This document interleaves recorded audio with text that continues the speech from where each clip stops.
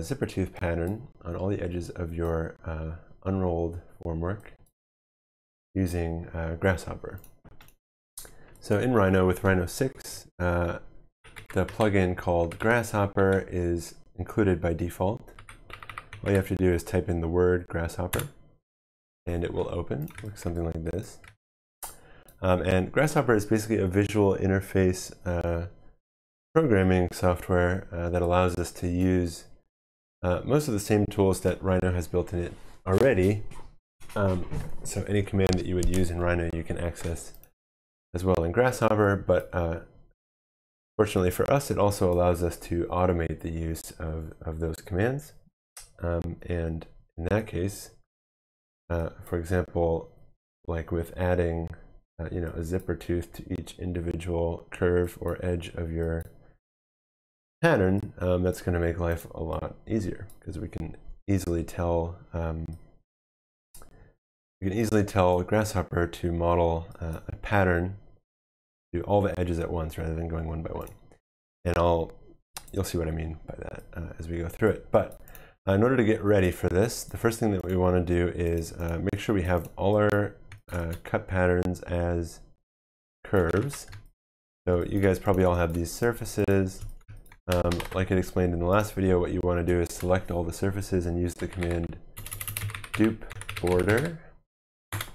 Again, that will duplicate uh, all the edges of the outline of the surface um, as individual curves. They're no longer a surface, they're a curve. Then what you want to do is go ahead and explode all of those curves. I'm going to change this onto a different layer for right now.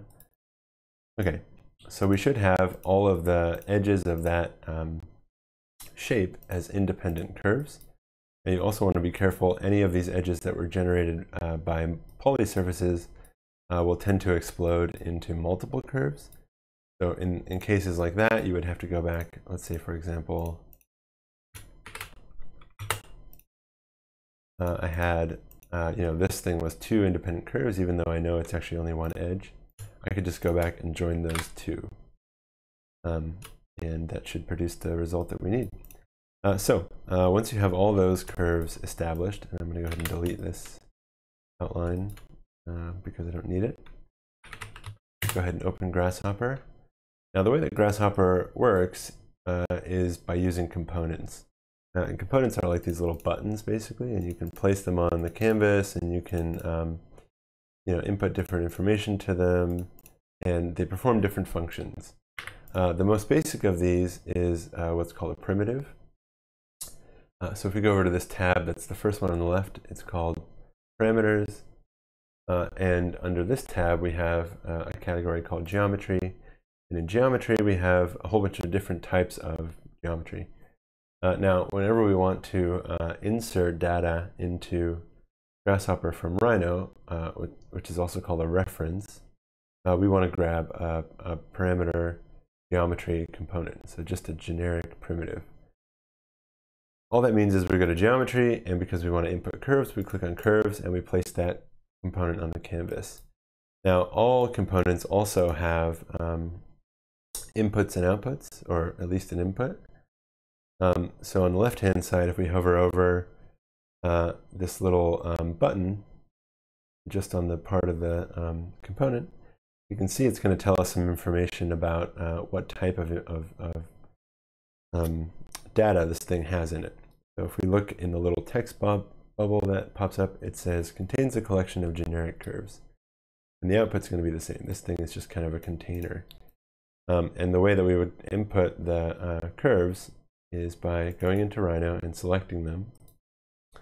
I'm going to right click on the layer that I have all these outlines on, select objects, and I've selected all the curves, I could go back into Grasshopper and I would right click on this component and hit set multiple curves. Uh, so now if I select this component, first of all you can see it's changed from yellow uh, to kind of light gray. Um, that's because this is now sort of doing something, this is working properly. Um, so yellow means that uh, your component isn't doing anything, it hasn't collected any information yet. Um, if I were to uh, select it, you can see that the curves in my Rhino viewport turn green. And that's how we know um, what data is contained in which um, components in Grasshopper, because we have a live um, update in our Rhino viewport of what's going on in our Grasshopper script. Um, so all our curves are now input into Grasshopper from uh, uh, Rhino.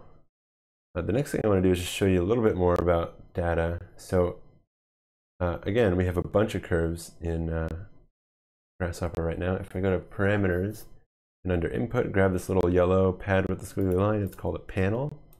Panel is just a little um, uh, text box that will plug, uh, that will show us like what's, what information is, is coming out of where. Um, so what we can do, you know, in order to build a Grasshopper script, we basically drag wires from one thing to another. Um, so if I drag this guy over, you can see in this panel, that's all the curves that I have in my list. And you can see that they're individual curves, so they're exploded, right? There's however many, like 40 of them, 47, and uh, they're all uh, organized in an order. So if we look on the left-hand side, this is what's called an index.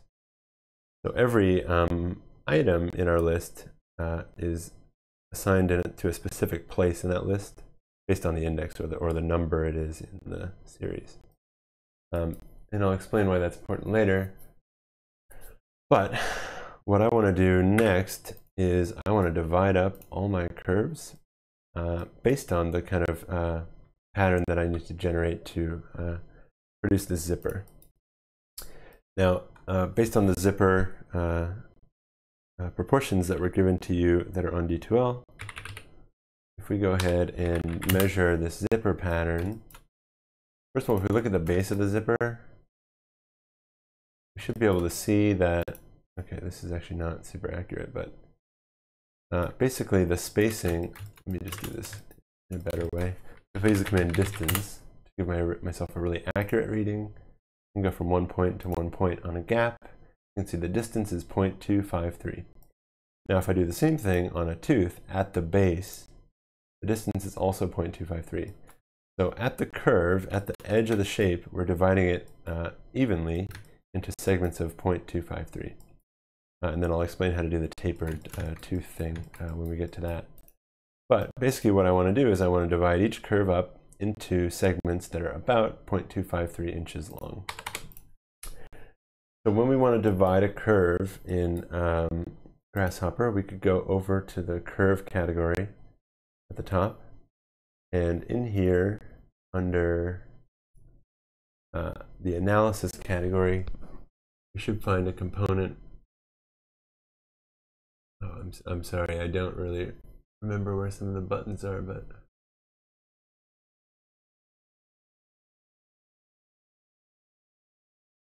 we find a component called divide curve. I'm really blanking here.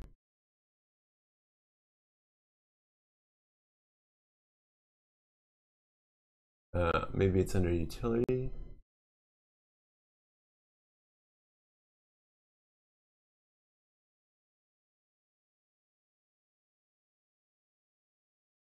Oh, it's under division. I'm stupid. All right. So go under curve, under division, and there should be a component in here that's just called divide curve. not divide distance or divide length, just divide curve. All right.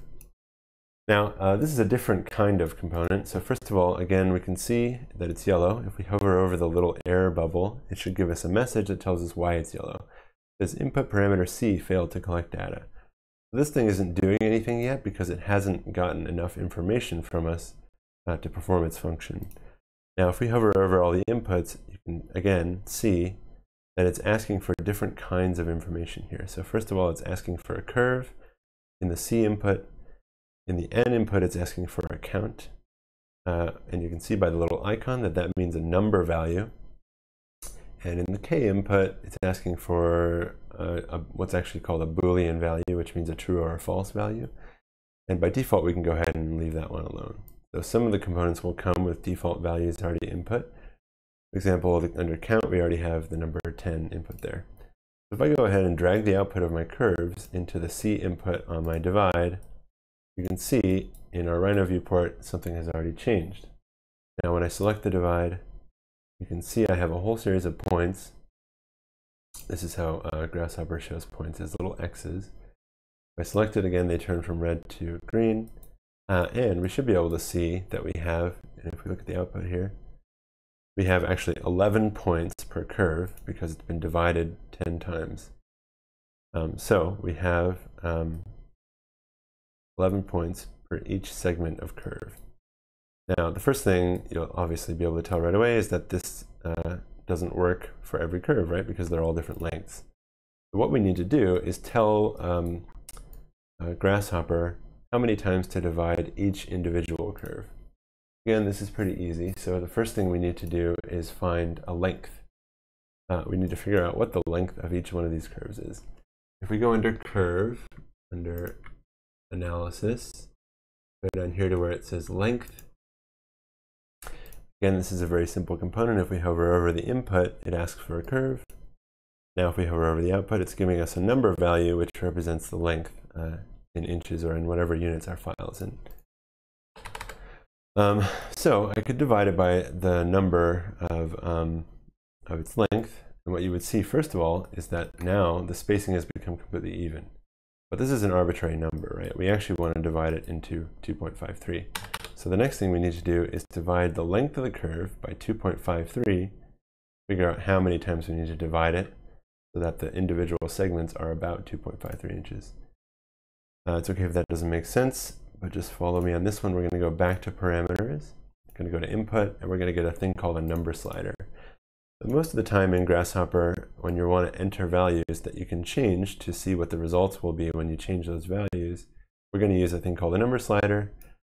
We double click on a number slider, we can change the range, so the minimum and maximum value. We can change it from a number with decimal points, so any number of decimal points, to an integer, to only evens or only odds. And what we want is to enter a value of 2.53. So down here under numeric value, I can double click and just manually type in 0.253.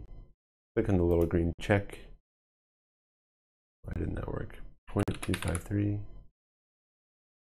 Huh. Okay. Oh.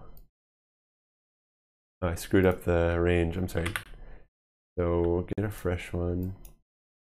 So in here I can type in 0.253, hit the green check, and then it will be set to that number exactly.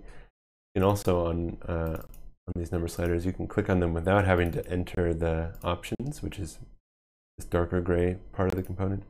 If I click on the number slider part, I can also change the value. Oops. Okay, and that's how we uh, would set a number. Um, so that's our distance, right? So if we take our curve and divide it by that distance, uh, it should give us the right number of subdivisions, which we need to do a little math to figure out. So then we'll go over to the math component. Under operators, we have all our kind of basic mathematical um, uh, operators, uh, like addition, multiplication, uh, etc. We're going to go ahead and use divide. Up here under division, Again, this is a very simple component, just accepts uh, input or numbers as input. It's going to ask for a number to divide, which is our length, and a number to divide it by, which is our uh, sub subdivision length. Okay, so now we're getting an output from this panel, and if I go ahead and plug that into my n on my divide, once again you can see that um, we have more points now, uh, they're closer together, but they're also pretty evenly spaced, right? And if I were to go into Rhino and just kind of uh, roughly try and trace between one of these points and another, we can verify, okay, 0.252. So it's pretty close to um, uh, the right distance between points. Now, um, we need to actually do a little bit of extra work here because again, we need to ensure that um, uh, we have the right number of tooth, uh, uh, teeth on each segment, on each uh, edge. So as, as you were doing with the um, uh, kind of manual, uh, manually applying the zipper, we need to also ensure that like the zipper always starts with a gap and always ends with a tooth. And what that means is we need an even number of subdivisions. Um, so if we look at the values we're getting at now, first of all, they're um, decimals we're having a whole lot of um, extra information that we don't need. In fact, the divide component is, is rounding those numbers for us uh, and giving us, like, for example, it would divide it into 12, divide it into 6, divide it into 6, etc. But you can also see that we're getting, uh, like for here example, this would round to 3, right? And that's an odd number. So we need these all to divide into an even number. Again, that's pretty easy to do uh, with a little bit of math. So we'll go back to math.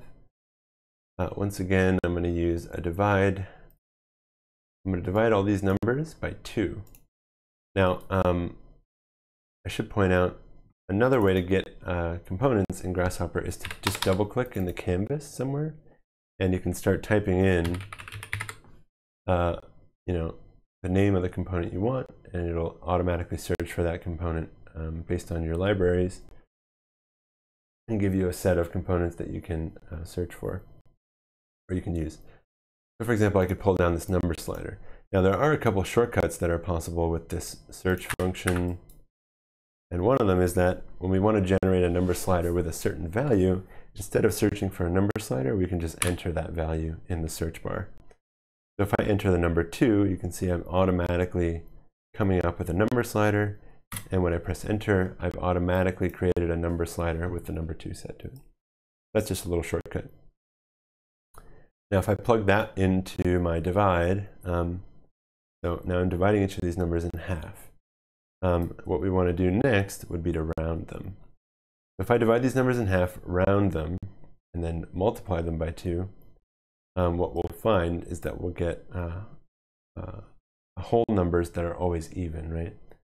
Um, I won't, you know, I mean, I'm sure you guys can discern why that is, but for now all we need is to get a round component uh, I don't also don't know where that is. I'm sure it's under math.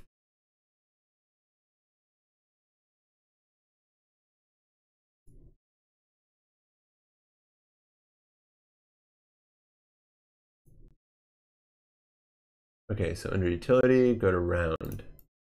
So again, this uh, component accepts one input. I'm going to use a uh, panel to illustrate what I'm doing here. You can see we have numbers with uh, decimal points. If I plug that into my round, now I have three inputs. One of them, and I'll hover over, is the integer nearest to x. So this is the number, um, just the nearest whole number uh, to each one of these numbers. So for example, here it would be 6, here it would be 3, right? If I go ahead and plug that in, you can see that those are the numbers we're getting. These other two will allow us to always round down or always round up. In this case, we don't need that. So we're just going to use the n output. Um, the next thing that I'll do, again, would be to multiply the number. I'm just going to double click on the canvas.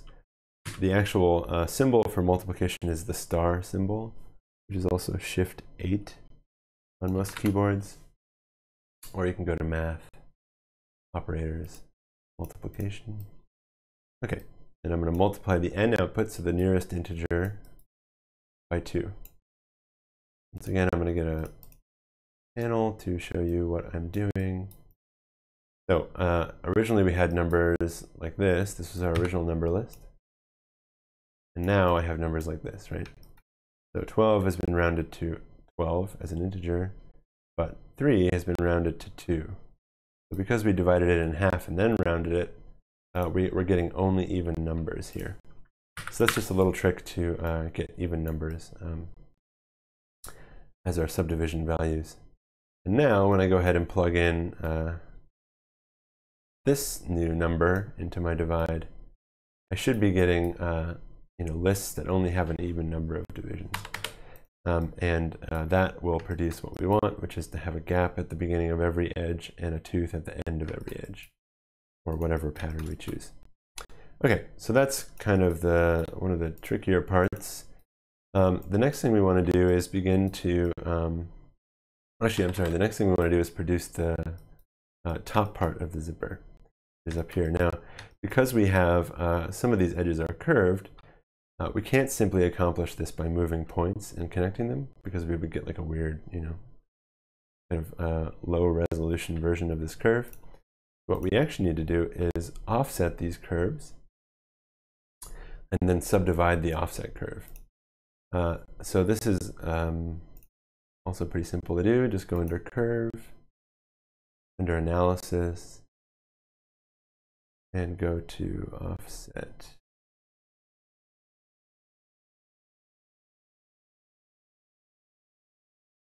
I don't know where it is. I'm just going to search for it. So if I double click on the canvas, type in offset, a couple ones, but I want this one offset curve.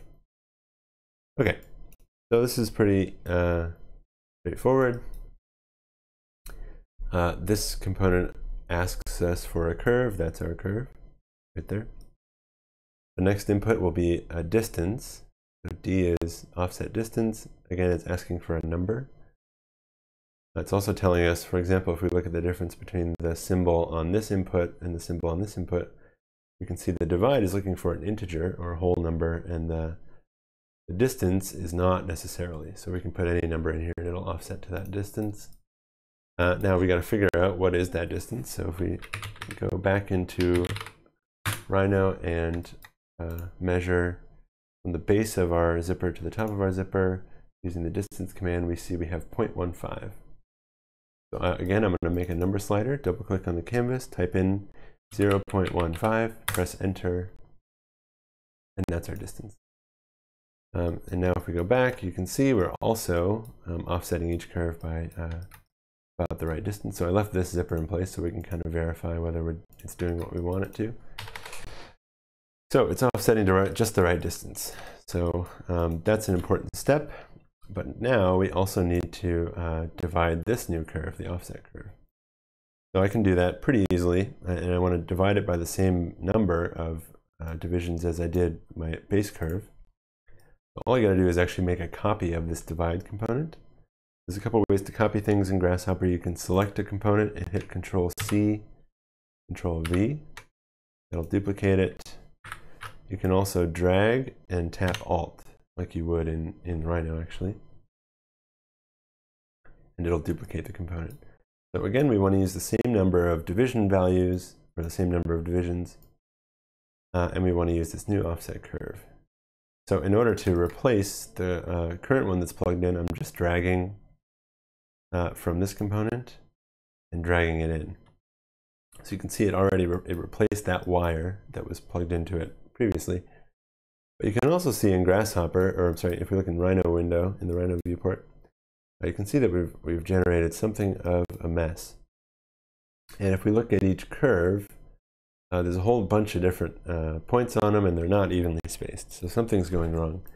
Now, um, this is a common issue in Grasshopper, uh, but there are many different ways to structure a list. So as I explained at the beginning, there are lists that have basically one level of hierarchy.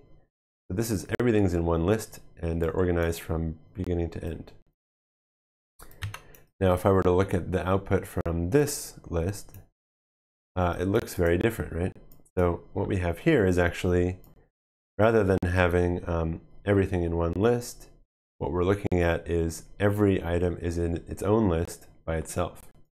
So this uh, value in the top right corner represents something called a branch. Uh, a branch is basically like a sublist. So this is a bunch of lists within a list. Uh, it's just a way to kind of organize data hierarchically so that we can, uh, you know, kind of do more, um, uh, do more with the data. Um, and uh, you can see that within each list, there's only one item and it's at index zero. So it's the only item, it's the first item, etc. And when we plug two different kinds of lists into the same component, like we just did there, so you can also tell when a list is, uh, so this is called grafted. That means that there's a bunch of sublists within a list. Um, you can tell when, when data is grafted because it will give us a dashed line, a dashed wire, rather than a solid line or a solid wire. Um, so what we need is for either this data to become grafted, so this data to be in separate lists, or we need this data to become what's called flattened, which means we need it all in one list. Um, I believe because of what we're going to do later, it's actually better if we have it so that every curve is in its own little list. Uh, because uh, once we go and subdivide these curves, what you'll see is um, now we have like, for example, 12 points per curve. We want to keep those in kind of their own list for each curve. So what I'm going to do is actually go all the way back to the beginning. It doesn't matter if you understand this or not, but uh, just know that there is uh, grafted data and there's flattened data in Grasshopper. And it's a problem when you try and mix them. So what I'm going to do is go all the way back to the beginning. Again, if I look at this original list where I input all my curves, you can see every curve is um, in one list together. And we can change that by right-clicking on this component, and we can choose the option graft. Right-clicking on the output, actually. Uh, and now you can see that um, this list looks a whole lot like the one coming out of our offset. Each individual curve is in its own uh, sublist. Okay, and you can see that also solved our problem of having a bunch of random points on each curve. Um, okay, so uh, now we're in pretty good shape uh, in terms of subdividing our curves, in terms of making the depth of the zipper. What we need to do next is actually create the pattern of the zipper. Um, so what I'm going to do now is uh, when I divide a curve, I'm actually just getting a bunch of points, right? This output is giving me uh, individual like XYZ coordinate points uh, somewhere in our workspace, in our model space. What I need instead is I need for this curve, these both of these curves actually to be split uh, at each one of these points. Um, so if I go to curve and go to utility, there should be a component that's called shatter. Oh, it's probably under division, under division, under shatter. The shatter does exactly what I just described. It takes a curve and it uh, splits it at a bunch of uh, what's called a um, parameter. So if I plug in uh, my curves into this component, can see it's still giving us an error. It's asking for input parameter t failed to collect data. This is kind of a really important concept in Grasshopper as well, and I'm actually going to model, I'm going to make a separate uh, script really quick to demonstrate this. I'm going to, you guys don't need to do this part, but just to uh, illustrate what I'm talking about here.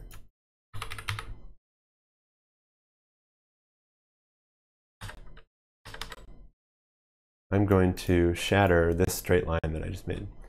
Uh, so what this component does is it uh, takes a curve and it gives us some information based on what's called a parameter. Now, all types of geometry actually have their own parameter space. What that means is, uh, with a curve, for example, we can find any point along this curve by telling it, you know, okay, we want to go to 75% of the length of this curve. For example, if I get a number slider and type in, I'm just going to type in like 10.0 for right now, and I'll plug this into my t. Okay, now as I move my number slider around, you can see uh, that based on what the parameter is that I'm telling Grasshopper to look for, it's generating a different, a point in a different location relative to our curve. Now, surfaces also have what's called a parameter space, except that they're 2D rather than 1D like a curve is, because a curve only has start and end and a, and a direction or a path. Um, a surface has two directions, right, like a coordinate space, x and y. Uh, we're not going to get into that now, but uh, what we also want is to understand how uh, these work. So with curves, a parameter uh, depends on the length of the curve. If I go into uh, Rhino and search for the length of this curve, it tells me 5.515. So if I were to make a number slider that said 5.515 in uh, Grasshopper and plug that in, you can see that it generated a point right at the end of our curve. Um, so that is, uh, right now, uh, has a parameter space that's determined by the length of the curve. Now, um, let's say we don't need to know uh, information based on the length of the curve. What we just want is the midpoint, for example, or the, or the two-thirds point, or the three-quarter point, or something like that. We have the option in Grasshopper to, um, uh, to do something called reparameterize. And all that that means is if I hover over the C input and right-click and choose this button, reparameterize, now you can see it stopped showing our point, right? I'm going to make a new number slider that goes from 0 to 1. 0 to 1. So anytime we reparameterize a curve, we've reset the parameter space of that curve to, to be between 0 at one end and 1 at the other, which is great because now we can easily find the ends of the curve, we can easily find 50% along the curve or 20% along the curve, etc. So hopefully that all makes sense. What I'm going to do now is I'm going to use that um, information uh, to tell Grasshopper where to shatter or where to split uh, these curves based on these points. Now, when we divide a curve, uh, Grasshopper gives us points, but if we look at the little t output, it's also giving us the parameter values of where those points are along our curve. And in order to shatter something, um, that's exactly what we need. We need the parameter value. So rather than plugging the points into the parameter value, I'm going to plug the parameter value in. Okay, now we have we should have gone from a list that has a single curve in each branch or in each sublist to a list that has a whole bunch of curves in each sublist because this whole line has been split up at each one of those points. Okay, I'm delete all this stuff right now. I'm also going to make a copy of this. So again, I want to shatter my base curve as well based on the uh, subdivision, or I'm sorry, the parameters of the subdivision. Okay. So now we have, uh, oh yeah, by the way, I should point that out too. So in Grasshopper, any component has what's called a preview. Uh, now, if I select this component, you can see we're looking at our offset curve. Now, because it's light gray, that means that the previewed uh, setting is on. So we are looking at, at this um, curve in the, in the uh, Rhino viewport, uh, whether it's selected or not, it's, it's visible. So in order to uh, turn stuff off, so for example, when we, when we shattered that curve, we also kind of duplicated that curve, right? So this is a whole different set of information. But if I were to unpreview, so select this component, right click on it and check preview, you can see it's been turned to dark gray, which means it's not previewed. But when I go and select my shatter, it's still there, right? So the, the information is essentially duplicated in the inside of this component. Um, and because we have now this kind of new information, uh, we want to be able to see what we're doing so we can go ahead and select all the stuff that we're not previewing anymore, including the original curve. So just drag and select like you would in Rhino. Right click anywhere on the canvas and hit preview off. Okay, now we just have those two shattered uh, curves showing up in our, our Rhino viewport. The next step will be to um, uh, pull out uh, the right ones that we want. Um, so like with the zipper pattern, we have a gap and then a tooth, which means that even though we shattered this into individual segments, we actually only want every other segment.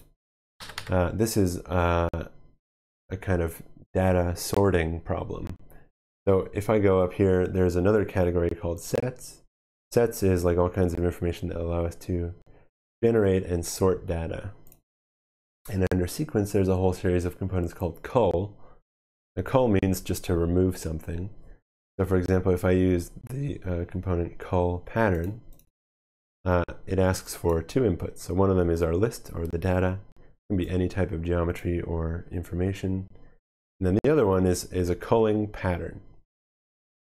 And you can see by default, it has a set of Boolean values already set uh, in the um, input here.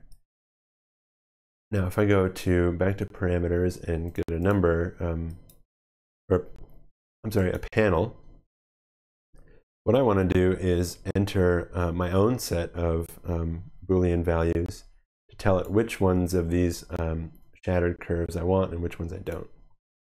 Um, so I'm going to get this panel, double click on it, and because it's not plugged into anything or nothing's plugged into it, uh, we can just type in information. I'm going to type in true, then I'll press enter to go to the next line and I'll type in false. And when I'm done, I can just click anywhere on the canvas. now we have uh, you know this panel with some information in it. Well, the other thing I want to do, so right now this is just uh, information, but it's not formatted formatted into a list. So I'll select my panel, right click, and hit multi-line data.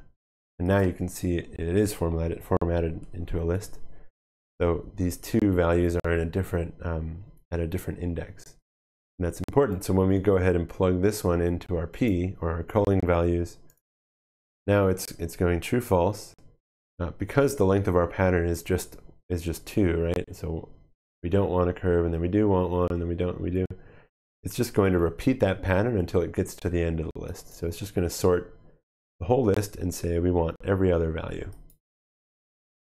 And if we look at, uh, so now if I were to unpreview the shatter component, which has all of the um, uh, um, subdivided curve in it, so preview off, you can see it's just giving us every other subdivided curve. Now I want to do exactly the same thing for the base curve, except I want the opposite set of values, right? With the base curve, I just want the ones in between the zipper tooth. I'm going to select both of these components, Control C, Control V. I'll plug the shatter into the list from our base curve. And in order to get the opposite set, so not the ones that line up, but the ones between, I need to tell it to uh, sort false true. So I'll just double click on this component and I'll type in false, enter true, and click OK. Okay, and so now you can see it's giving us the opposite set. Um, and if I uncheck, if I unpreview my shatter, uh, it should be working um, for every single component. Only you can't see it because we turn off this layer. There we go. So it's giving us the basic um, parts of our zipper. Now, uh, so first of all, this is why we offset it right here because it's giving us a subdivided version of that curve rather than, again, straight segments in between those points, which would screw up our geometry. Um, the other point I want to make is, well, I'll do this later, actually, never mind. Um, so now we have the problem of, first of all, uh, we need to um, make sure, so like with our normal zipper, uh, we don't have the um, geometry just go up and over and down. We have a little bit of a kind of taper. The edges of the tooth at the top are, are, are spread out just a little bit uh, to give us that kind of locking that we need in order for the geometry to come together with a kind of zipper. Um, uh, so what I need to do is actually take all the uh, segments that are at the outside of the geometry and I need to extend them a little bit to form this taper. This is really easy. Again, like the one way you can do this in Grass or in Rhino would be to use the command extend. And of course, the same command exists as a component in Grasshopper. If we go to curve and go to utility and go to extend curve, I'll place that one on the canvas. Uh, you can see it says failed to collect data. So I'm going to plug in those uh, segments, the offset segments into C. So those are the curves that I want to extend.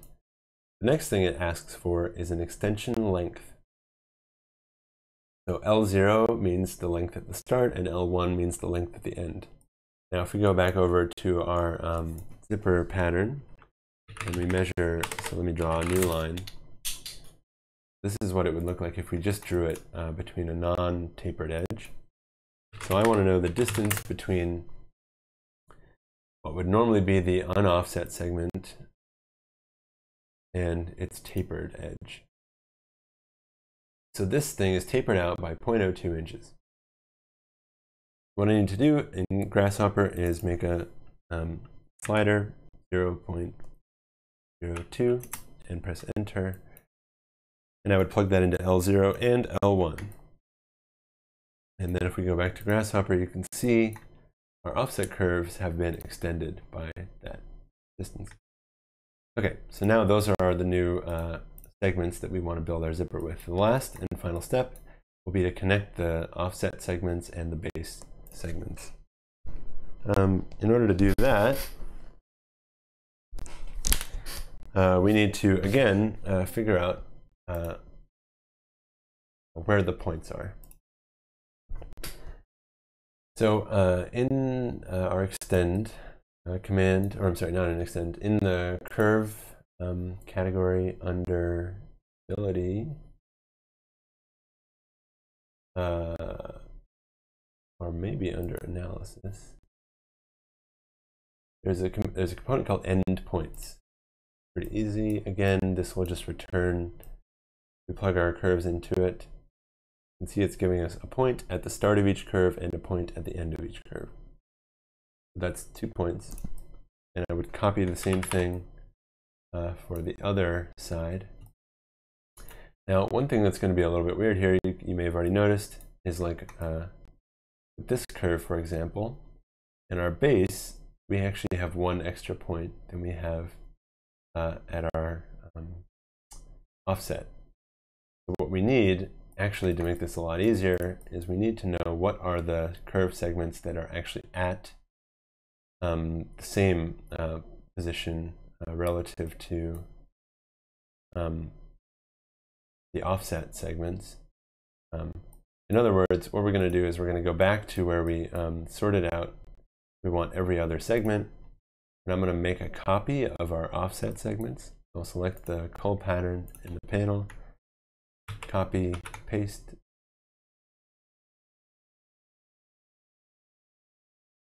And this time I'll plug it into my base curve segments, but I don't want to change my, um, my Boolean value. And if I preview this component on, you can see that it's giving us the same segments right below where the offset segments are. So rather than using uh, the ones in between and trying to sort out, sort out what order those points need to be in, I'm just going to use the same uh, segments uh, on the base baseline. I'm actually going to plug this component into my start and end. And then the rest is really quite easy. So we go back to curve. Uh, this time we want to use the primitive. And we're going to choose this one called line that just looks like a line with two points. This All this needs is a point at the beginning of the line and a point at the end of the line. If I plug the start value of my offset curve into A, start value of my base curve into B, you can see I've generated a line between the start value of those two. Then I would copy this component. Then I would plug in the endpoints. Again, if I just drag and place, it'll replace the um, data that's currently been uh, entered into that input. Okay, I would unpreview this. And just like that, we have a continuous zipper of um, a certain length. Now, the very last thing you would need to do here uh, would be to um, uh, basically double check that uh, and this time you need to kind of do it manually. I'm trying to find one where like, you know, the, the tooth doesn't line up with the zipper. Automatically got them all right. Kind of interesting. Um, but uh, just to point this out, um, so if I turn the base curves back on, again, uh, Grasshopper is actually referencing these curves, so I wouldn't want to delete them. If I deleted this curve, for example, again, that zipper goes away because now Grasshopper doesn't have a baseline to uh, develop all this information from. Um, I also just want to point out that curves in Rhino default have a direction. That's why they have one side is the start and the other side is the end. And we need to know what that direction is. If I use the command dir, you can see in the viewport a bunch of arrows have popped up and are uh, indicating that the curve is moving one way or another. Now, if I select all the, rather not those, but all the outlines and type dir, you can see because we kind of um, develop these from surfaces that are all facing up, that are all, uh, you know, we're kind of modeled the same way. All of our curves should moving should be moving in one direction, same direction around the around the perimeter. If I were to select one of these, so I just click on it, and you can see right now the arrows got reversed. Press enter. You can see our zipper flip to the other side. That's really all you got to pay attention to is um, if you have a zipper on the wrong side, I need to just click that line and it'll flip.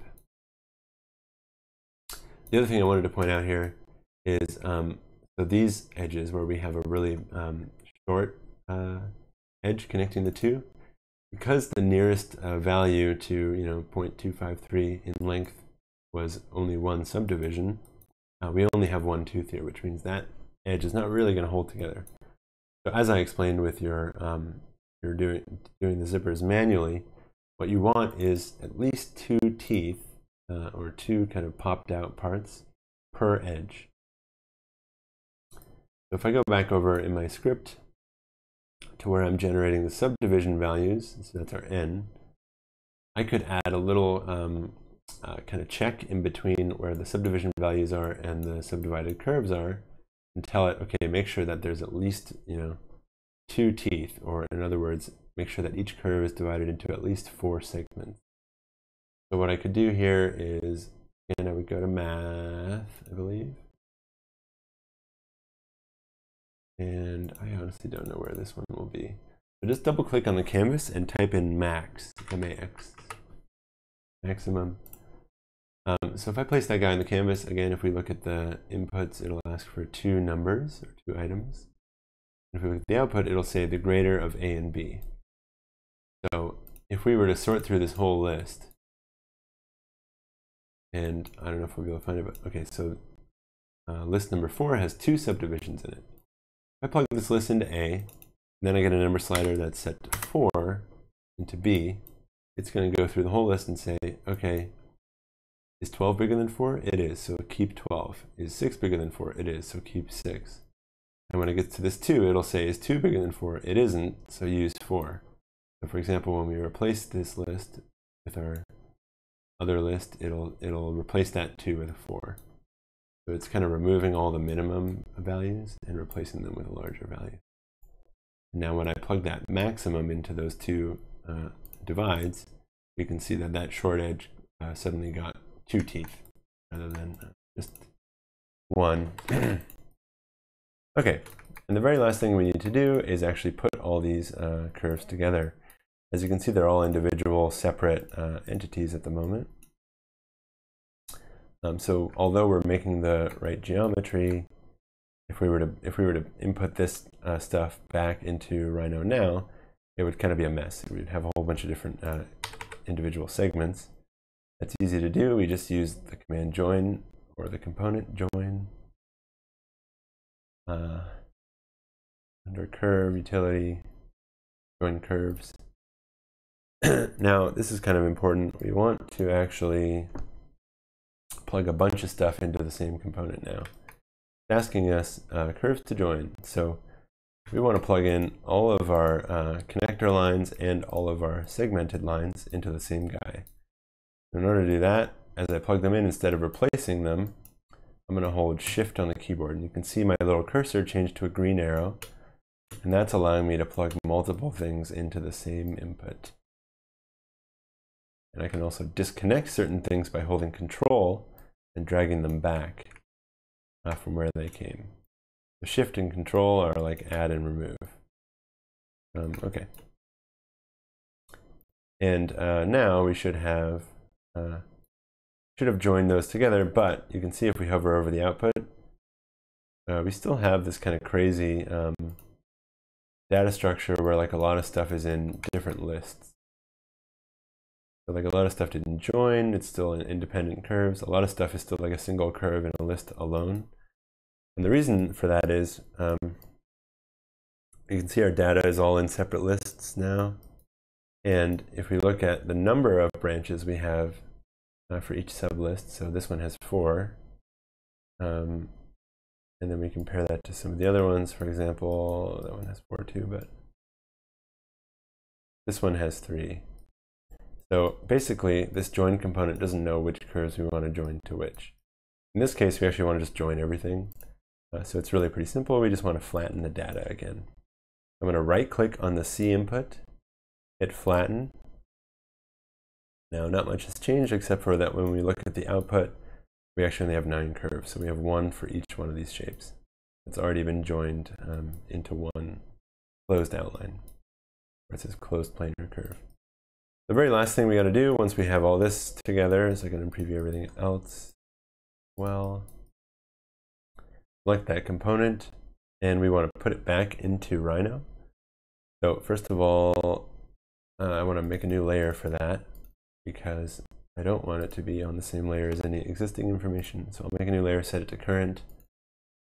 And uh, there's a couple ways you can do this. You can select like a bunch of stuff and right click on the canvas. And we want to choose this option bake. Because we're just baking one component at a time, we're just going to click on that individual component, right click and hit bake. We can actually choose which layer we want it to be assigned to. Uh, so I'll assign it to that new layer and click OK.